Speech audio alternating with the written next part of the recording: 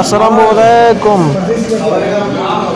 Viewers आज हम इस होटल में नाश्ते के इंतज़ार में बैठे हैं।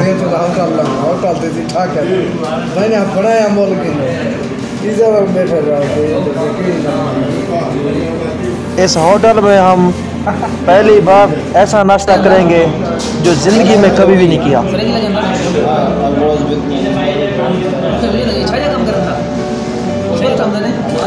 मेरे साथ दो आदमी बैठे हुए हैं। हम तीनों आदमी साथ में आज नाश्ता करेंगे।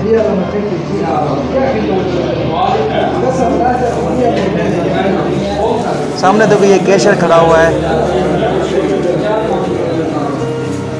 ये सामने हमारे सरेगे भाई भी बैठे हुए हैं। हमसे बातें कर रहे हैं। वीडियो देखने का बहुत शुक्रिया। चैनल को सब्सक्राइब, लाइक, दोस्तों तक लाजमी शेयर करें।